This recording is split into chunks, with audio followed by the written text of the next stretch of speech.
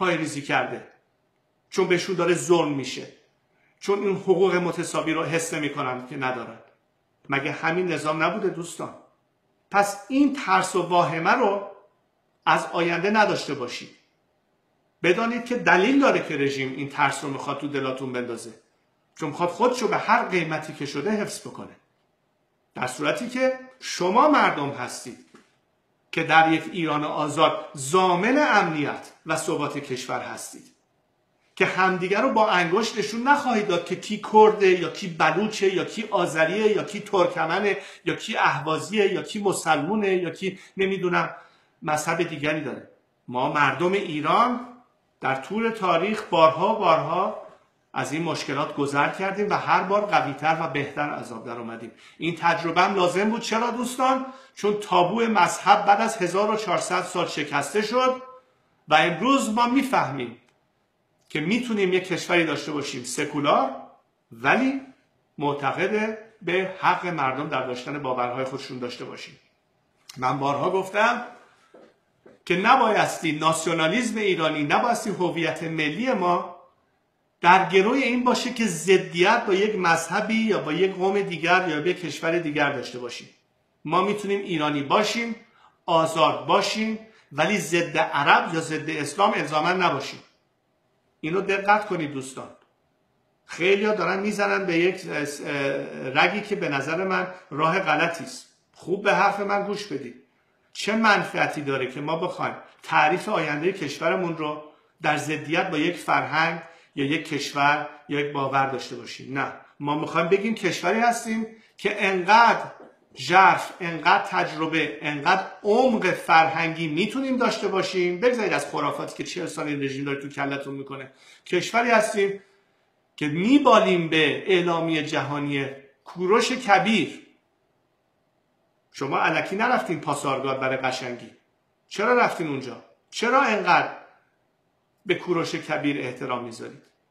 چون اولین باری بود 25 قرن پیش که برابری رو در عمل دنبال کرد.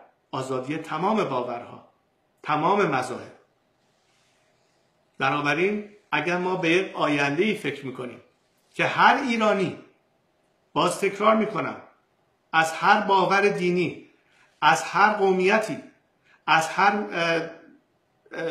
طایفه ای از هر اشیره ای از هر بخشی از کشور باشه تحت لوای قانون و در یک ایران آزاد کاملا احساس برابری بکنه و به هیچ نوعی هیچ نوع تبعیضی برایش برود نیاد اینو زمانی به دست خواهیم آورد دوستان که از نظر باورهای سیاسیمون و فرهنگ اجتماعی سیاسیمون به این حد تفکر رسیده باشیم. به دوستان همین آش و همین کاسه خواهد بود.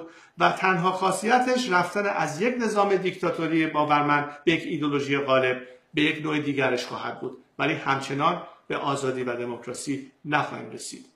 این رو خوب هضم بکنید و ببینید به کدوم آینده می‌خواهیم با هم پیش بریم. و اما سوال ششم. شما در یکی از مصاحبه‌های اخیر خود گفتید در تشکیلات نظامی ایران اهم از ارتش و سپاه طرفدارانی دارید. بسیار خوب خواهشمندم واقع گرایانه پاسخ دهید. آیا این طرفداران از درجاتی هستند که خود شما بتوانید روی تجربه و علم اونها قدمی بردارید؟ آیا با اون سطحی که فقط شما مقدارش رو می‌دانید احتمال انجام کودتا می‌دید؟ قاعدتا طرفداران شما ارتشی ها هستند تا سپاه و بسیج. آیا ارتش طرفدار شما ارتش طرفدار شما توانایی مقابله با سپاه رو داره؟ خب دوستان باز در خود این سوال یه سری پیشفرس هایی هست که اساسا درست نیستن و یا نیاز به توضیح من هست. ببینید دوستان کشور ما در عرض این چهل سال مواجه بوده با در وهله اول یک جنگ هشت ساله و بله طبیعی است که ارتشیان ایران حتی بعد از اینکه نظام انقلابی خمینی اومد و سرانش رو دونه بدونه گرفت و اعدام کرد. با وجود این توانستند در مقابل ارتش مهاجم صدام حسین از خاک و مرز مملکت دفاع بکنند ولی پاسداران هم بودن در اون زمان. پاسدارانی که ممکنه از نظر ایدولوژیکی متعهد در اول کار به این نظام بودن. و آبشون با اون ارتشیا در جوب نمی‌رفت.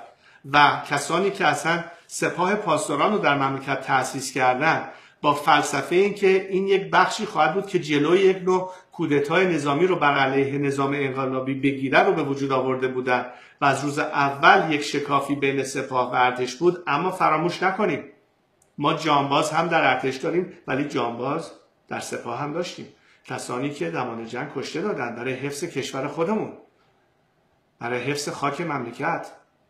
پس این که بگیم امروز یک ارتشی که در اون جنگ شرکت کرد یا یک پاسدار که در اون جنگ شرکت کرد برای چی کرد؟ برای حفظ خاک مملکت خودمون. به خاطر مردم خودشون. آیا اگر به خاطر مردم بوده می‌تونن در آینده با هم اختلاف هدف و برنامه داشته باشن؟ من به این مسئله اعتقاد ندارم. برای همینه که بارها بهتون گفتم. ما بایستی در چارچوب یک آشتی ملی پیش بریم. ما بایستی بدونیم که کسانی که امروز در این نظام گیر کرده و خیلی هستن از بسیجی ها خیلی هستن از سپاهی ها که هیچ کدوم از منافعی که بعضی از سرانشون که اون مافیای در واقع درجه بالای سیستم هستن و هیچ منفعتی از این نظام نمی‌برن یا کسانی که اول انقلاب فکر می‌کردن واقعا این مملکت ترقی پیدا خواهد کرد یا به آزادی بیشتری خواهد رسید یا نمی‌دونم هر چیزی که باورشون بود دیگه باورمند به نظام نیستن.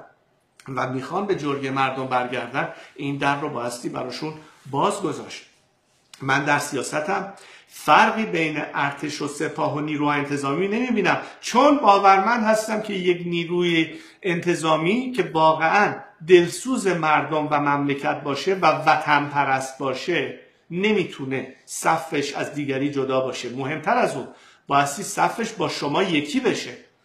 شما مردم هستید که بایستی در برخوردتون باز دوباره خودی و ناخودی راه نندازید.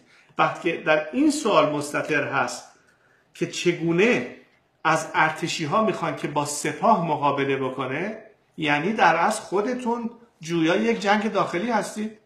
دوست عزیز واقعا این انتظاره.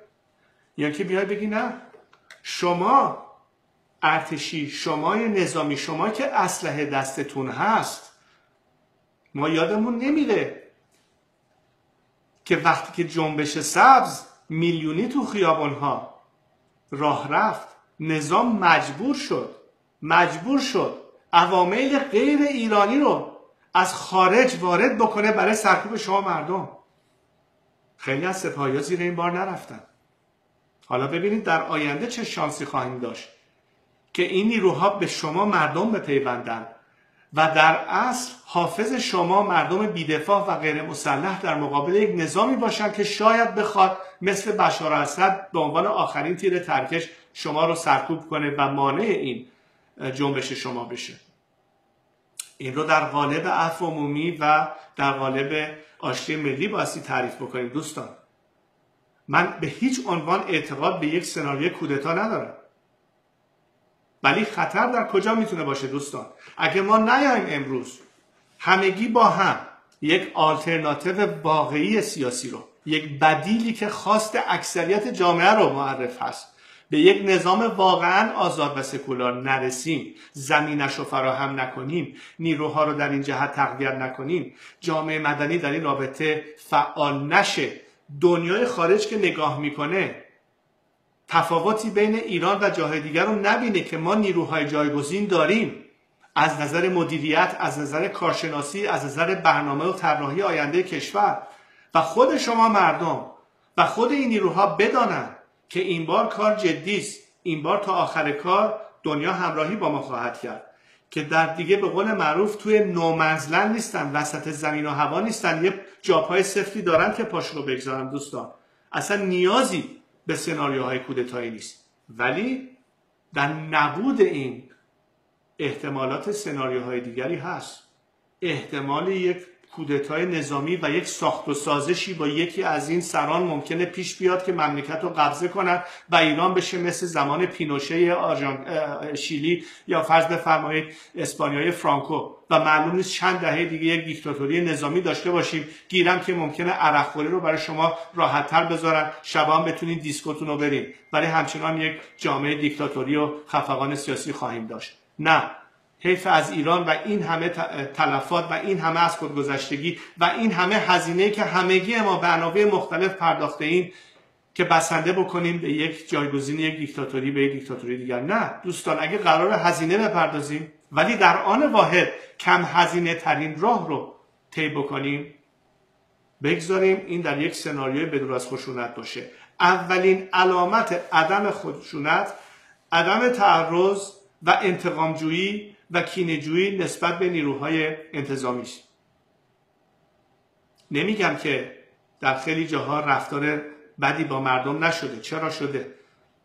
ولی یه جایی می‌رسه که ما باید گذشت بکنیم به خاطر منافع ملی کشورمون به خاطر آزادی های بعدی به خاطر که نسلی که امروز در زندان ها هستش به خاطر نسلی که امروز داره شکنجه میشه به خاطر نسلی که امروز ناچار به فرار از ایران هست نسل بعدیتون نسوزه.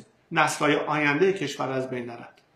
این برمیگرده به برخورد همگی ما با این مسائل و چگونه در این سناریوها راهی رو پیدا می‌کنیم که بزرگترین سدهای سیرامون رو برداره و با کمترین هزینه این تغییر اتفاق بیفته نه با هزینه بیشتر.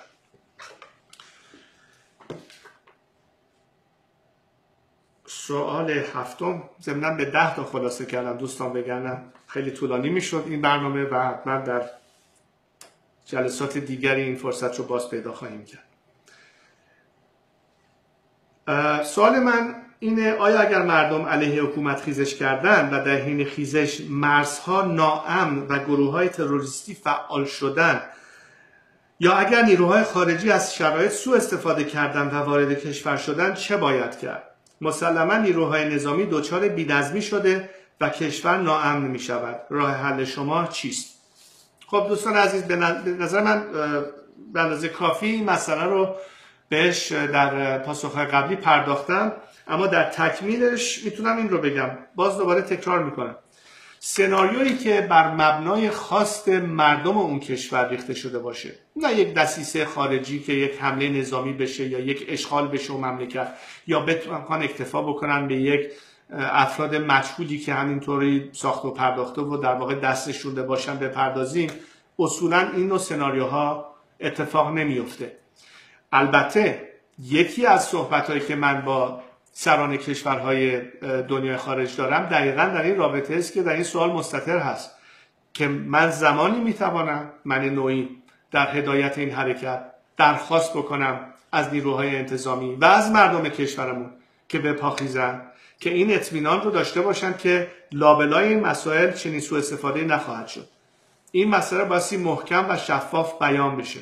بایستی دولت های خارجی که قصد در حمایت از مردم ایران داشته باشند به سهم خودشون این زمانت را بدهد البته زمانت نهایی دوستان با هر تنها کافی نیست در عمل ثابت میشه. و ما نبایستی در جهتی پیش بریم که بخوایم رو بقیه حساب بکنیم. من بارها این رو گفتم بهتون. ما فقط و فقط می‌تونیم رو خواسته و باورها و عملکرد خودمون تکیه بکنیم. چه دنیا بخواد یا نخواد. اما من این وظیفه رو دارم باز مجددا. برای اینکه هزینه این تغییر برای شما کمتر بشه که دنیا رو با این خواست شما همراه بکنم. و دنیا رو قانع بکنم که بهترین منفعتشون حمایت از خواست مردم ایران هست در رسیدن به آزادیشون. چرا؟ چون هیچ ملت آزاد شده ای با کمک خارجی ندیدم که در فردای آن روز از بابت اون حمایت شکرگزار نباشد. یا اگر دولت هایی هستند که علا رقم خواست مردم ایران در جهت مخالفش همچنان با این نظام لاس می‌زنن یا می‌خوان معامله بکنن در فردای آزادی ایران به مردم ایران پاسخگو خواهند بود.